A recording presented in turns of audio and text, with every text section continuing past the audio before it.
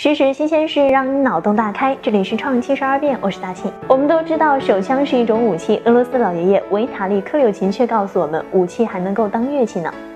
维塔利·克柳琴是俄罗斯实用射击联合会主席，旨在让各种枪械射击运动走进日常生活。为了宣传自己的协会，老爷爷不走寻常路，想出了用枪演奏世界名曲的点子，没想到却因此意外走红。经典的格洛克式手枪，在老爷爷如有神助的枪法下，诸多世界名曲信手拈来。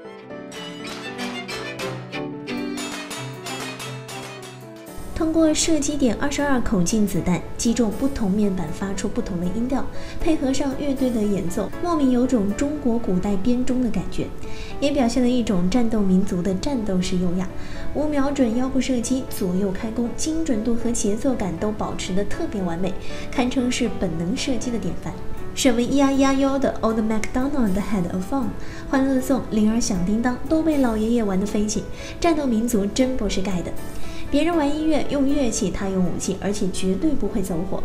不过虽然节奏很带感，毕竟不是乐器，只能够说创意加分，音乐效果也就五分了。